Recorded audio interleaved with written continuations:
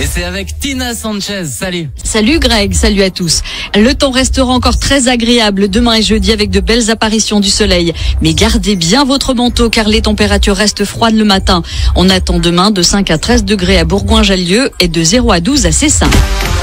La solidarité s'organise en Isère pour les Ukrainiens. Les collectes se multiplient partout dans le département. Demain et jeudi, l'association Lyon-Ukraine organise une collecte de dons à la mairie de Saint-Georges-d'Espérange. Des vêtements, des denrées alimentaires non périssables, des couvertures ou encore des produits d'hygiène sont recherchés.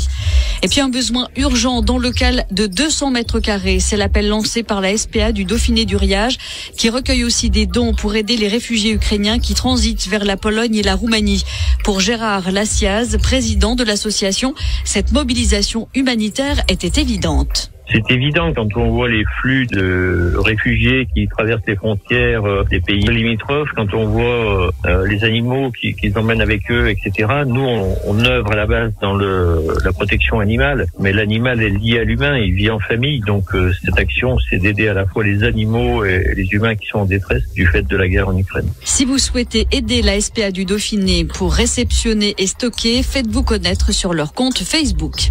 En Ukraine, les bombardements se poursuivent. Une frappe russe a visé la tour de télévision de Kiev, provoquant l'interruption de la diffusion des chaînes. Une attaque qui a provoqué la mort de cinq personnes. Le top des hits, c'est avec Greg. Bonne soirée. Merci beaucoup, Tina. Bonne soirée à demain. Rentre bien.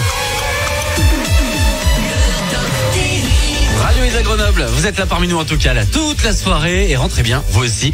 Alors c'est l'heure, voici Vianney, Mentisse et avant on écoute Grégory Porter Dry Bones sur Radio Isa Grenoble.